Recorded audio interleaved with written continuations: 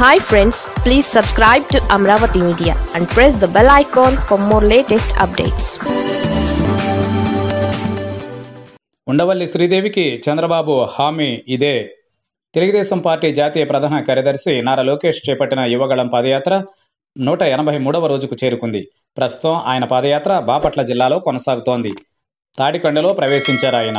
నియోజకవర్గానికి చెందిన టీడీపీ నాయకులు అమరావతి పరిరక్షణ సమితి నాయకులు కులికపూడి శ్రీనివాస్ మాజీ ఎమ్మెల్యే శ్రవణ్ ఘనస్వాగతం పలికారు. అనంతరం రాజధాని రైతులతో నిర్వహించిన ముఖాముఖిలో పాల్గొన్నారు నారా లోకేష్.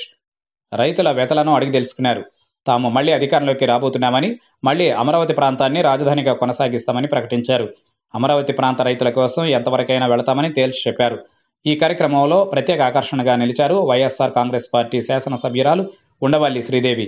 తాడికొండ నియోజకవర్గానికి ప్రాతినిధ్యాన్ని వహిస్తోన్న శ్రీదేవి వైఎస్ఆర్సీపీ నుంచి సస్పెండ్ అయ్యారు. పార్టీ వ్యతిరేక కార్యకలాపాలకు పాల్పడుతున్నారనే కారణంతో ఆమెపై వేటు వేసింది వైసీపీ అధిష్టానం. దాని తరువాత ఆమె తెలుగుదేశం పార్టీ వైపు మొగ్గు చూపారు. ఇటీవలే శ్రీకాకుళం జిల్లా పర్యటనలో ఉన్న పార్టీ అధినేత చంద్రబాబు నాయుడిని కలిశారు. పార్టీలో చేరడానికి ఆసక్తి చూపారు. ఆమె రాకను చంద్రబాబు స్వాగతించారు.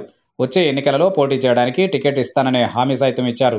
బాపట్ల లోక్సభ టికెట్ను ఆమెకు ఖాయం చేసినట్లు తెలుస్తోంది. తాడికొండ లేదా ప్రతిపాడు అసెంబ్లీ టికెట్ కోరుకుంటున్నారు శ్రీదేవి. తాడికొండ సిట్టింగ్ ఎమ్మెల్యే కావడంతో మళ్ళీ గెలుస్తాననే ధీమాను వ్యక్తం చేస్తున్నారు. చంద్రబాబుకు విజ్ఞప్తి చేసినప్పటికీ హామీ దక్కలేదు.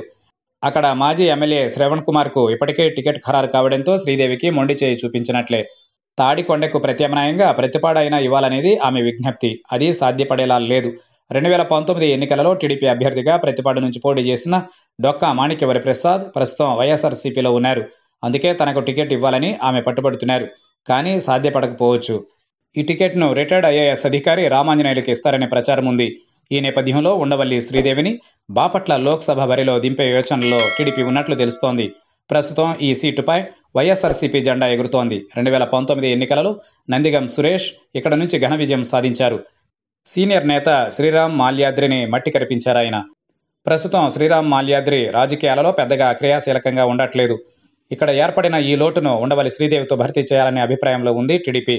ఒకే పార్టీలో ఉన్నప్పటికీ నందిగం సురేష్ ఉండవల్లి శ్రీదేవి మధ్య వ్యక్తిగత విభేదాలు సుదీర్ఘ కాలం పాటు కొనసాగాయి. ఇప్పుడు ఆమె టీడీపీ నుంచి బాపట్ల ఎంపీ అభ్యర్థిగా పోటీ చేస్తే అది ఇక రాజకీయ పోటీగా మారుతుంది.